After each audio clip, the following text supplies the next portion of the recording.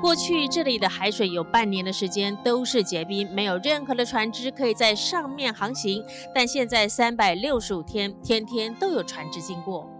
Of course, I do see that the ice retreats, uh, the glacier retreats.